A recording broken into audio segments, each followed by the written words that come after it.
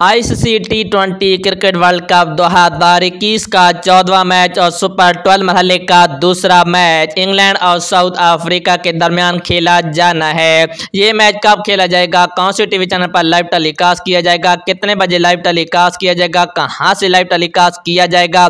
दोनों टीमों की प्लेइंग अलेवन कौन से होने वाली है? हेड टू हेड रिकॉर्ड पर भी बात करेंगे। तो इस वीडियो को शुरू से आखिर तक ज़रूर देखिएगा।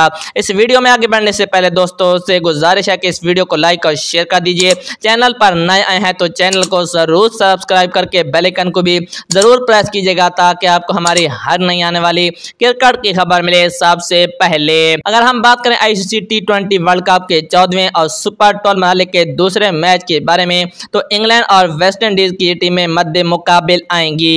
ये मैच तेईस अक्टूबर को रात को सात बजे Dubai international cricket stadium Dubai में लाइव टेलीकास्ट किया जाएगा, जो पाकिस्तान में पीटीवी स्पोर्ट्स और ए स्पोर्ट्स पर लाइव टेलीकास्ट किया जाएगा। अगर हम बात करें दोनों टीमों की हेड टू हेड रिकॉर्ड के बारे में तो वेस्ट इंडीज और इंग्लैंड के दरमियान अभी तक 18 टी ट्वेंटी मैचेस खेले जा चुके हैं। वेस्ट इंडीज ने 11 टी ट्वेंटी और इंग्लैंड सात टी ट्वेंटी मैच जीतने में कामयाब रहा। वेस्ट इंडीज का हाईएस्ट टोटल 208 और इंग्लैंड का एक हाईएस्ट टोटल रहा।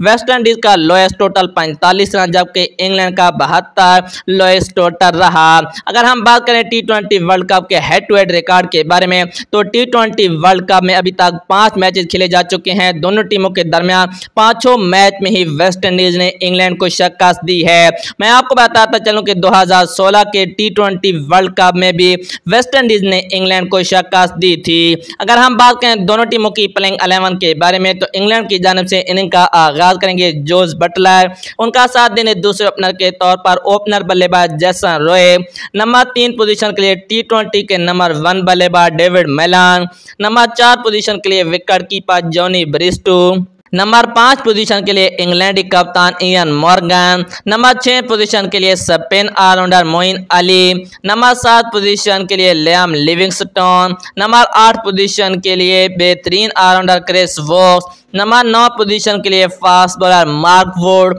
number दस पोजीशन के लिए फास्ट बॉलर डेविड विली, और नंबर अलेवन पोजीशन के लिए spin bowler Adil Rashid. Playing eleven का हिस्सा होंगे।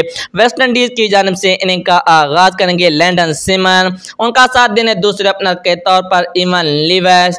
नंबर तीन पोजीशन के लिए क्रिस हेनरी गेल। नंबर चार पोजीशन के लिए बेहतरीन हिटिंग करने वाले शिमरून हटमायर नंबर पाँच पोजीशन के लिए नायब कप्तान और wicket keeper Nicholas Pooran number छः पोजीशन के लिए कप्तान किरण पुल्लार। नंबर सात पोजीशन के लिए ऑलराउंडर आंद्रे रसल नंबर आठ पोजीशन के लिए डियन ब्राओ।